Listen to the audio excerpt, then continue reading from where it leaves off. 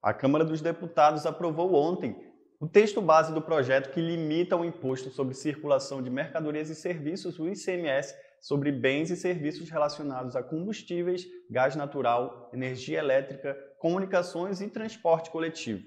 A proposta classifica esses setores como essenciais, o que fixa a alíquota do ICMS em um patamar máximo de 18%.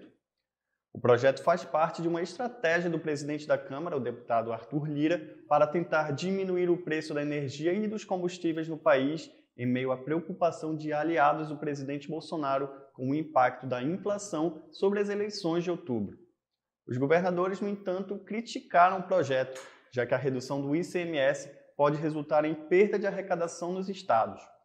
O presidente do Comitê Nacional dos Secretários de Fazenda dos Estados e do Distrito Federal, Décio Padilha, afirmou que só o impacto do congelamento dos combustíveis nos orçamentos estaduais será de 37 bilhões de reais nesse ano. Com a aprovação na Câmara, o texto será agora enviado ao Senado. A matéria completa você confere em realtime1.com.br. Dê like no nosso vídeo, continue nos acompanhando pelas redes sociais e não se esqueça de se inscrever no nosso canal do YouTube.